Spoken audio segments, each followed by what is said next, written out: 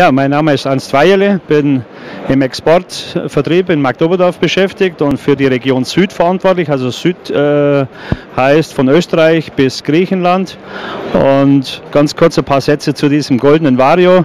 Das ist der hunderttausendste und gleichzeitig natürlich ein neues Produkt. Sehr interessantes Produkt und aus dem Grund hat man bei Fendt entschieden, dieses Produkt in dieser Sonderlackierung äh, zu präsentieren. Auch natürlich einmal um den hunderttausendsten äh, Ausdruck zu verleihen und um hier natürlich auch den neuen 200er besonders ins Rampenlicht zu rücken.